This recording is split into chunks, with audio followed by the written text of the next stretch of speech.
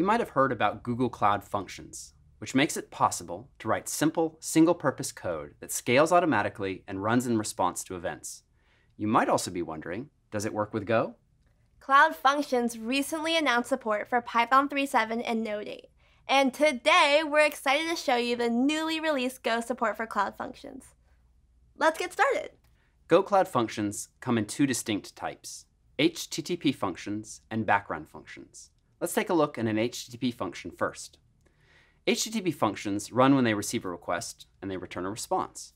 The function signature follows the HTTP handler func interface from the Go standard library, meaning that you can use the wide variety of Go HTTP middleware right out of the box. Now let's deploy it. We give our function a name, hello, specify the entry point f, and add the trigger HTTP flag.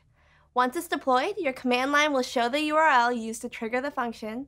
Just copy that into your browser to test it, and with that, we've just deployed our first Go Cloud function. Next, let's take a look at a background function. While an HTTP function responds to a request, a background function responds to an event.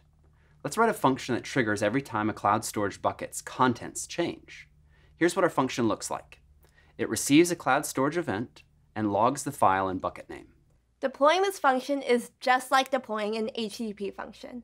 We give our function a name, specify the entry point, and specify the event type and resource that originates the event. Now with all the setup complete, this function will fire every time a new file is added to our bucket. Don't forget to create the cloud storage bucket before deploying your function. Now to test this, just use the web UI and upload a file to your bucket.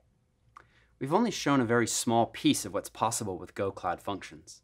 With Cloud Functions, you don't have to worry about server management. You only pay for what you use, and your functions scale automatically in response to demand.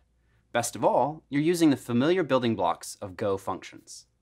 Using Go Cloud Functions, you can build mobile or IoT backends, virtual assistants or chatbots, do real-time file processing, or integrate with third-party services, just to name a few.